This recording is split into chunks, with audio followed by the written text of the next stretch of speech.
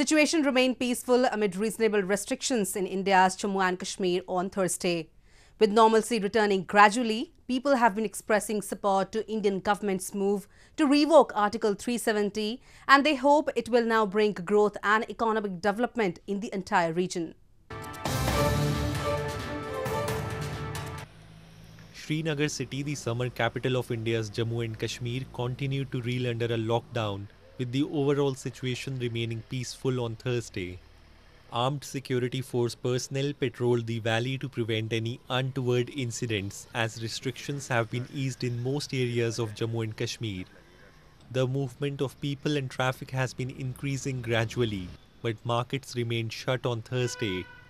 Officials said the situation has been peaceful, except for some minor incidents, since reasonable restrictions were imposed earlier this month after India revoked the special status granted to the region. Uh, area where uh, uh, there was relaxation extended, they also behaved normally also. Uh, except few in few pockets there were uh, minor uh, stray incidents of stone pelting. Otherwise, rest of the area behaved normally. situation is again being monitored closely and local decisions are taken regarding law and order. Meanwhile, in Tral town of Jammu and Kashmir, people expressed hope that they look forward to a bright future now.